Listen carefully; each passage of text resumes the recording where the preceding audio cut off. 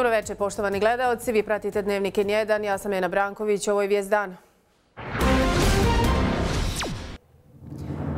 U nastavku suđenja Miloradu Dodiku i Milošu Lukiću svjedočio Dalibor Panić, generalni sekretar vlade Republike Srpske, optuženi, opet negirali instituciju OHR-a i proces nazvali besmisleni. Glupost, gubljenje vremena, farsa, blamaža, čitavog pravosuđa. Mene je ovo podsjetilo sve na jednu izreku velikog disa koji je rekao da nema smisla prekidati besmisa u svom toku. Iz dnevnika izvajamo i ove vijesti. Nakon dojavljenih bombi na Sarajevskom aerodromu i nekoliko tržnih centara, danas nove dojave u dvije Sarajevske srednje škole. Imaju li nadležni odgovor na ove izazove? Sumnjivi prijeteći mailovi i dalje stižu na određene adrese.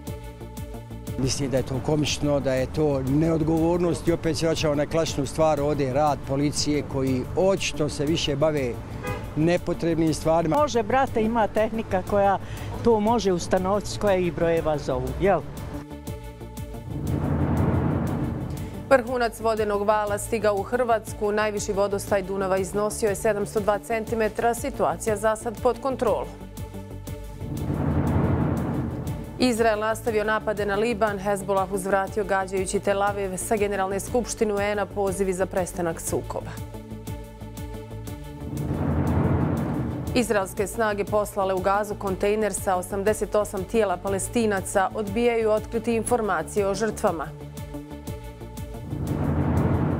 Večeras od 20 sati 30 minuta se igra prvi ovosezonski vječiti derbi između Sarajeva i Željezničara. Uživo smo na stadionu Asim Ferhatović-Hase.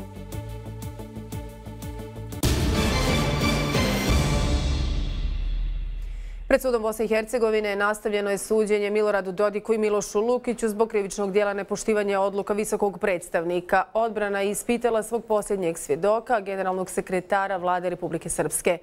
Optuženi su ponovo negirali Kristijana Šmita kao visokog predstavnika, ali kompletan proces nazvali političkim i besmislenim. Dalibor Panić, generalni sekretar vlade Republike Srpske, što mu samim tim nosi poziciju člana upravnog odbora službenog glasnika, ponovio je da niko ne može zaustaviti objavljivanje u entitetskom službenom glasniku onoga što je prošlo skupštinsku proceduru.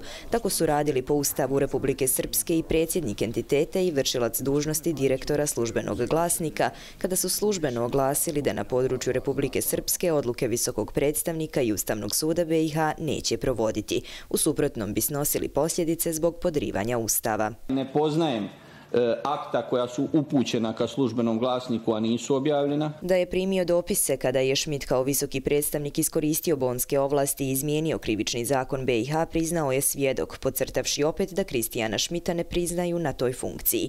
I odbrana i optuženi ponavljaju da zakone i izmjene unatoč bonskim ovlastima poštuju samo ako su doneseni u parlamentima, podcrtavši ponovo da bez aneksa 10 i Šmita kao svjedoka ne vide smisao suđenja. Mi smatramo da je on na svjedok na okolnosti koje smo mi e, predložili veoma bitan, zato što se u svojim odlukama poziva na bonske zaključke koji nisu u pravnom prometu u Bosni i Hercegovini, ni koji nigdje nisu objavljeni. Ako se pozivate na to, mislim da je vrlo bitno da dođete na sud i da kažete na osnovu čega vam je to ovlaštenje koje vi imate.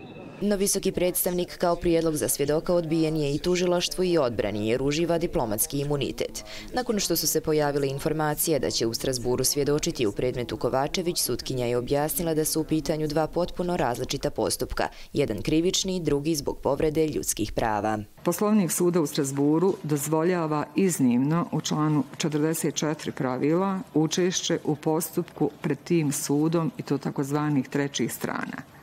Procesni zakon u Bosni i Hercegovini ovakvu mogućnost ne propisuje za krivični postupak. Da li se radi o politički montiranom procesu, direktno je prvo optuženi Dodik pitao sutkinju. Dobio upozorenje pa nastavio sa ispitivanjem svjedoka.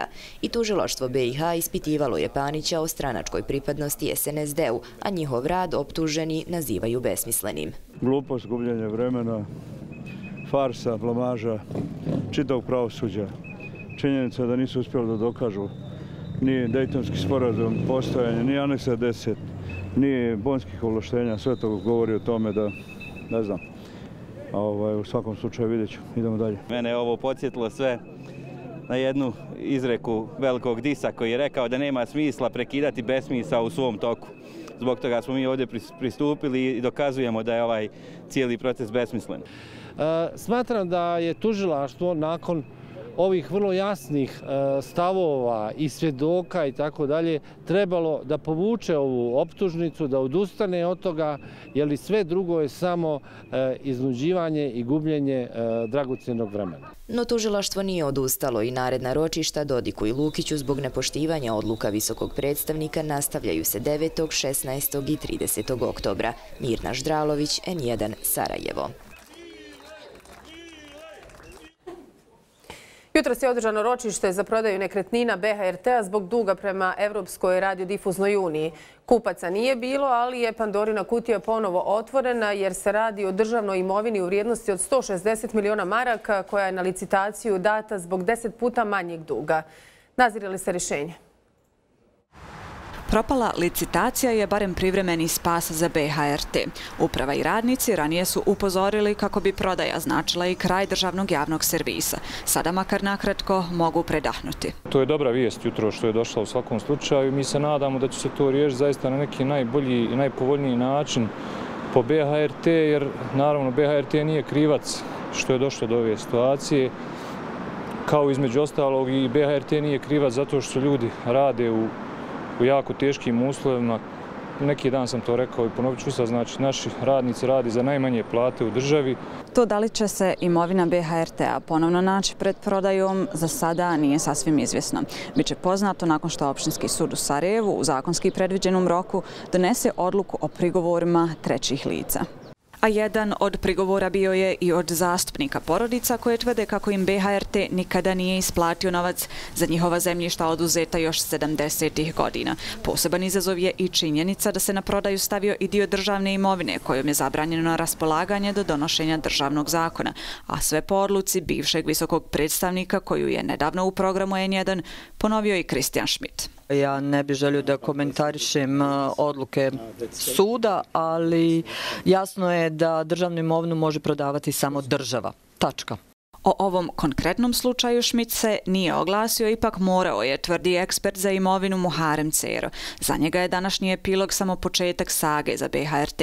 Posjeća i na druge slučajeve nelegalnog raspolaganja državnom imovinom. Bliži se istek roka od 90 dana za izvršenje odluka Ustavnog suda u predmetu Jahorina i Vareš sada će, pretpostavljam, ili doći do jednog novog, novog momenta u cijeloj priči o državnoj imovini, ukoliko Republika Srpska ne provede odluku ustavnog u predmetu Jahorna i po mom sudu tada bi se mogle, mogle, mogle, mogle steći obilježa bića krivičnog dijela neprovođenja presuda Ustavnog suda i po prvi puta da bi u sudačkoj i tužilačkoj praksi u postdejtonskoj Bosni i Hercegovini imali provjeru ili uvođenje u praksu krivično djelo neprovođenja Ustavnog suda za koje je zapriječena i zatvorska kazna. Ipak strahuje od presedana koji vreba na drugoj strani. Ukoliko dođe do indirektnog prenosa nekretnine BHRT-a, urušavanje državne imovine bi se naglo dinamiziralo. Može li se BHRT spasiti iz drugih izvora? Vlasta Bečava. Na vijeću ministara ću tražiti da se usvoji zaključak kojim će se kroz budžet u narednoj godini ili u narednim godinama riješiti pitanje ovog duga kako ne bi došli u besmislenu situaciju. No radnici su već decenjama u besmislenoj situaciji, dok podsjećaju da djeluju pod kontinuiranim strahom za opstanak, sada moraju naglašavati i tu da je udar na javni servis i državnu imovinu, direktno ugrožavanje njene opstojnosti. Melika Balihođić, N1 Sarajevo. Dojave o bombama u Sarajevu nisu izostale ni danas na udaru dvije sarajevske srednje škole. Sumnjivi i prijeteći mailovi i dalje pristižu na određene adrese. Nadležni još nemaju odgovor ko stoji iza prijetnje koje su jučer na nogama držale brojne policajce tokom cijelodnevnog pregleda tržnih centara. Ono što se zna, sve dojave o bombama posljednjih par dana bile su lažne, no dovoljne da uznemire građane. Evakuacija na aerodromu, u tržnim centrima, a zatim i u dvije škole zbog dojave o postavljenim eksplozivnim sredstvima.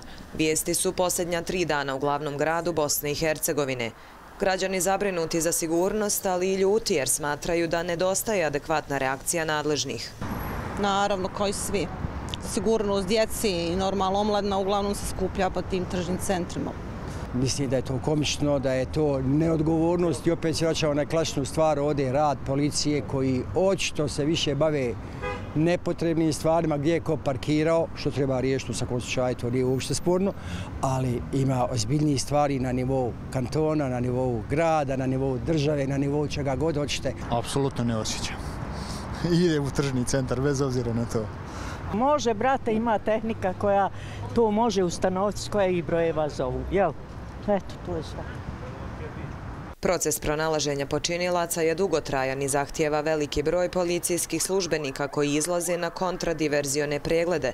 Pored toga često se koriste i policijski psi, a zatim se uključuju i druge relevantne institucije. Policija službenici federalne upravne policije odeljenja za borbu protiv turizma koji su poduzmali mjere radnje u prethodnom periodu na identifikaciji korisnika tih e-mail adresa koji su, koji su putale poruke o, o, dostavljenim, o postavljenim eksplozivnim napravama, vrše provjere putem servisa koji su korišteni, pribavljaju podatke, obrađuju ih i radi na samoj identifikaciji izvršilaca. Broj prijavljenih anonimnih dojava o postavljenim eksplozivnim sredstvima na području kantona Sarajevo eskalirao je 2022. godine, kada je Ministarstvo unutrašnjih poslova zaprimilo 237 dojava. 2023. taj broj se smanjio na 120, a u prvih osam mjeseci tekuće godine registrovane su 54 dojave.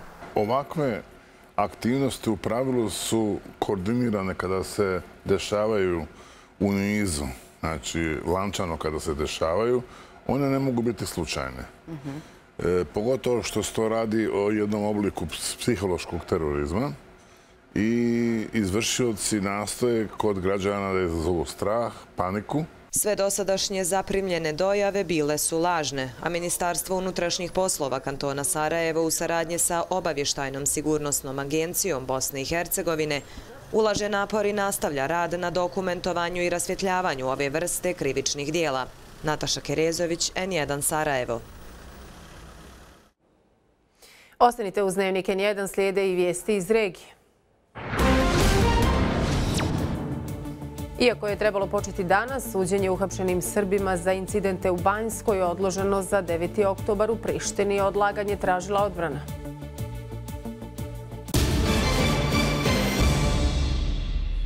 Vrhunac vodenog vala na Dunavu očekuje se u Batinino stanje je pod kontrolom. Vodostaj je niži od očekivanog i nije premašen vodostaj Dunava iz rekordne 2013. kada je on iznosio 776 cm.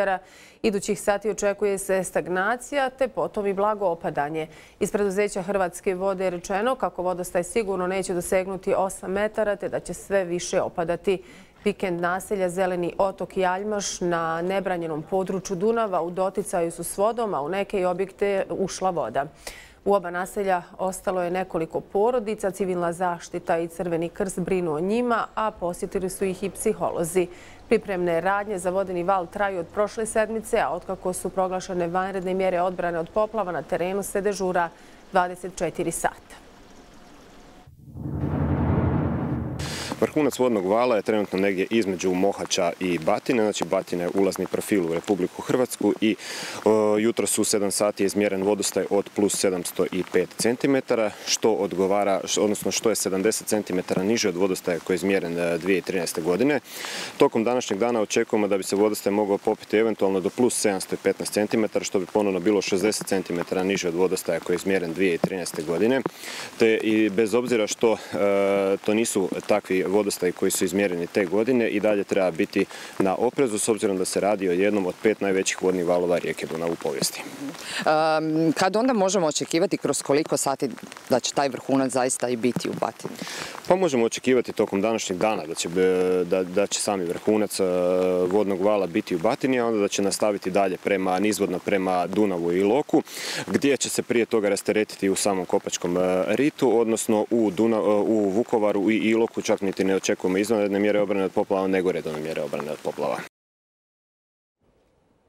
Osnovni sud u Prištini odložio je danas prvo ročište u slučaju Banjska na osnovu optužnice koju je specijalno tužilaštvo Kosova podiglo protiv 45 osoba za terorizam i teška krivična dijela. Ročište je pratila Zanac Emili.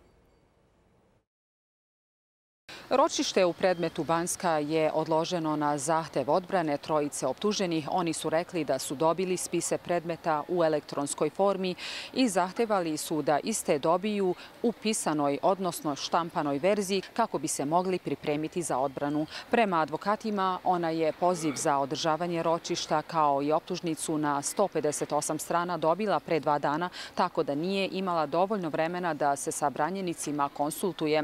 Advokati odbrane su tražili više vremena da se konsultuju sa svojim klijentima, izrazivši nespremnost da se danas nastavi sa ročištem. Sud je odobrio ovaj zahtev sa obrazloženjem da treba izneti što efikasniju odbranu, tako da su suđenje i čitanje optužnice odloženi za 9. oktobar. Ovo nije nevažna faza krivičnog postupka, naprotiv, veoma je važna i nama jednostavno nije bilo moguće da se za tako kratko vreme pripremimo oko jednog važnog pitanja koje se danas trebalo da raspravi. I ono što ste također čuli, optuženima, onima znači, kojima se sudi, kojima preti visoka kazna, nije dostavljena optužnica do, do dan danas, tako da oni uopšte i praktično ne znaju neposredno šta se njima stavlja na teret.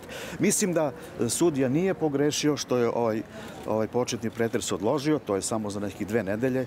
Nastavit ćemo znači, 9. oktobra. I... A na početku današnjeg ročišta pročitana su imena 45 osoba koje Kosovsko tužilaštvo okrivljuje za teroristički napad u Banjskoj.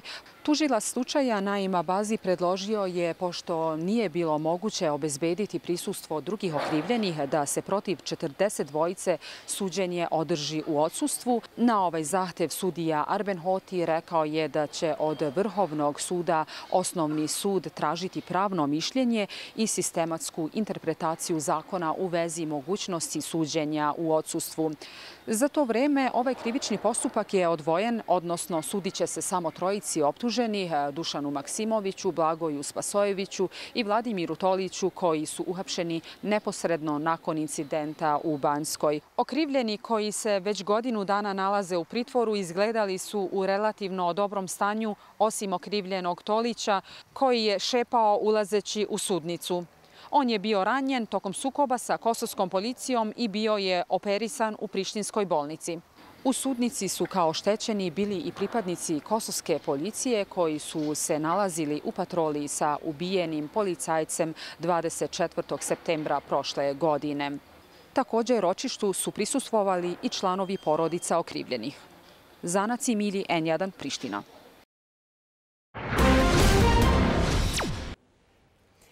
Najmanje 51 osoba je ubijena jutrošnjim napadima Izraela na Liban. Izraelska vojska saopštila je kako su pogodili gotovo 300 meta širom zemlje. U eskalaciji sukoba Izrael i Hezbollah razmijenjuju talase zračnih napada koji su primorali hiljade ljudi s obje strane granice da napuste svoje domove.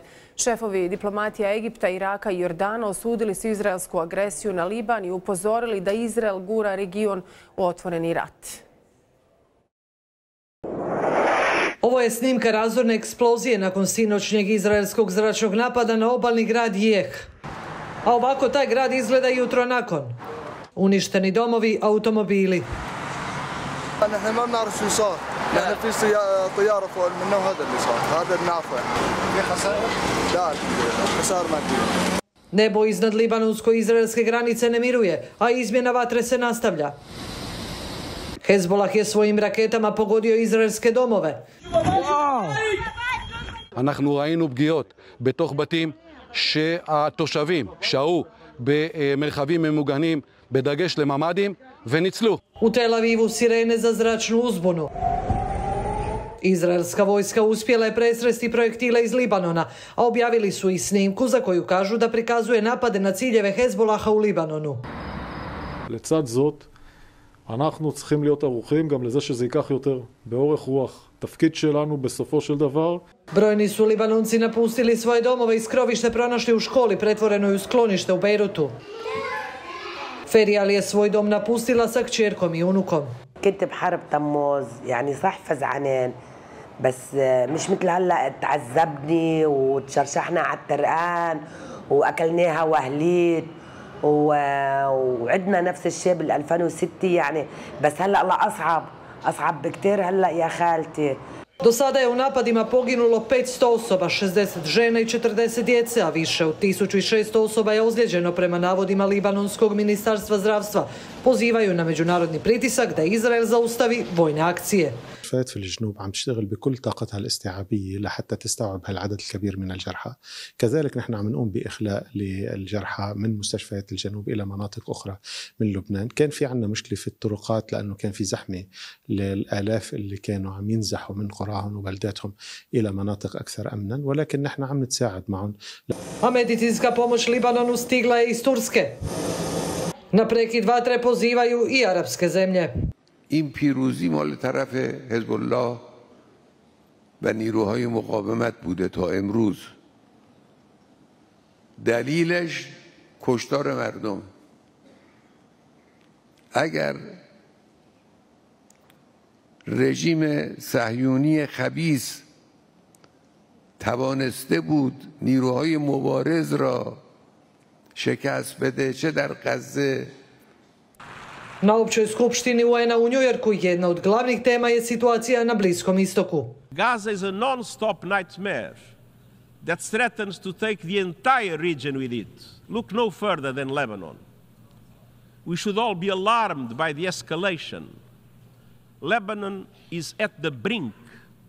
The people of Lebanon, the people of Israel, and the people of the world cannot afford Lebanon to become another Gaza.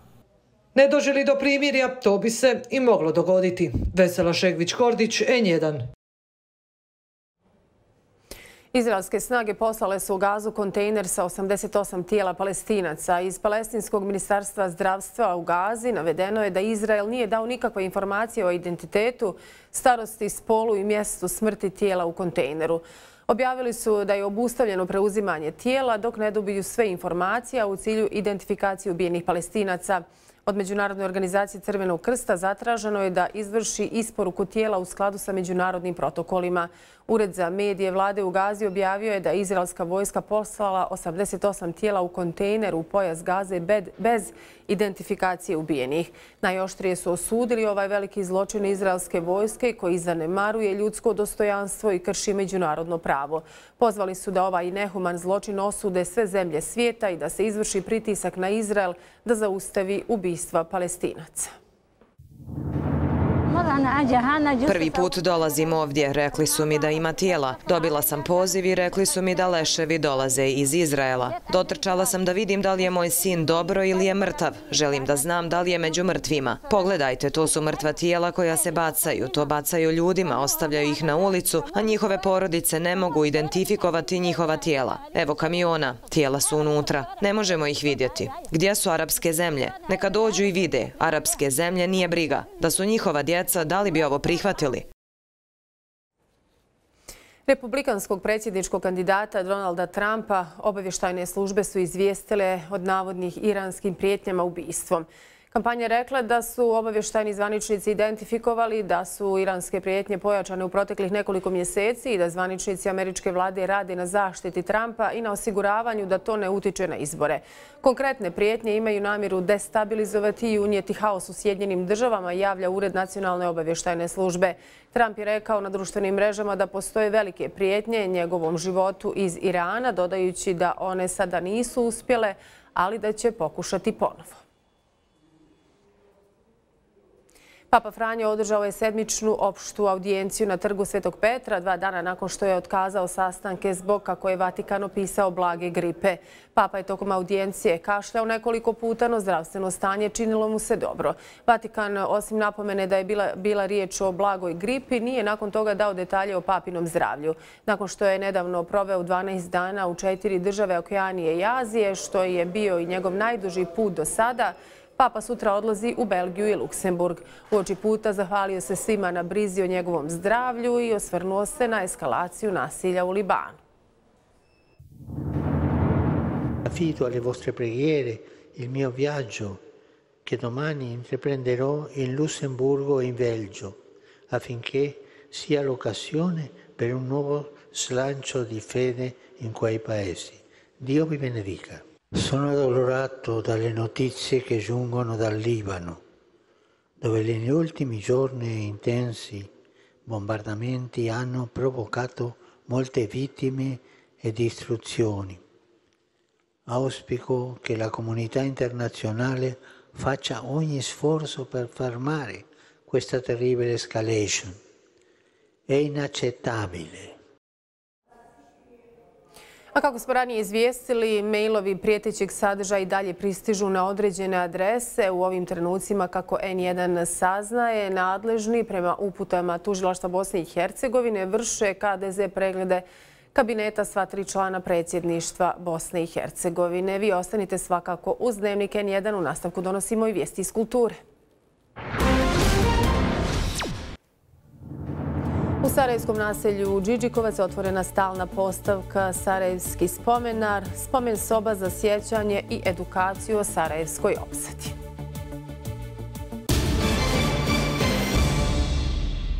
U sklopu 64. internacionalnog teatarskog festivala MES i ove godine će od 5. do 12. oktobra biti organizovan program Dramadžiluk. Novi segment festivala u fokus stavlja dramski tekst – te kroz čitanje tekstova pred publikom daje na važnosti jednom od najvažnijih segmenata teatarske umjetnosti. Iz direkcije MESA su rekli da su dramska čitanja izuzetno važna kako bi se teatarski radnici upoznali sa novim dramama, ali i publika sa novim mladim glumcima. Mislim da je književnost jedna od stvari gdje smo najdalje očili. Da mislim da, da, da bosansko-hercegovačka književnost ukupno e, sigurno jeste najbolja slika u cjelokupnoj historiji Bosne i Hercegovine, da imamo ogroman broj izuzetnih pisaca i sa druge strane mislim da nemamo dovoljno pažnje posvećene prevashodno dramskom tekstu u tom našem, našem ambijentu.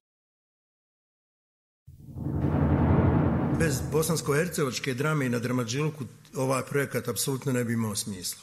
I ove godine je na, na adresu Dramađiluka došlo, na, sad ne govorim tačan broj, ali stotinjak drama što je mene šokiralo, kako prošle godine, tako i ove, jer kao i vi živim u sredini u kojoj nam stalno pričaju kako imamo manjak dramskih tekstova, ne samo u Bosni, nego kako dobrih tekstova nema vani, i onda se prijatno iznenadite kad vam ljudi počnu slati tekstove iz regije.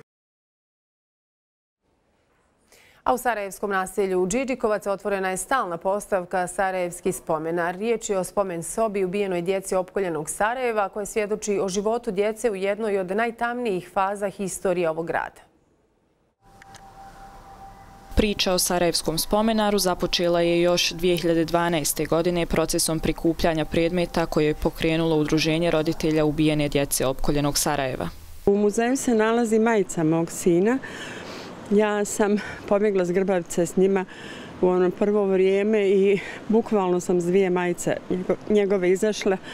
U jednoj je sahranjen, druga je u muzeju.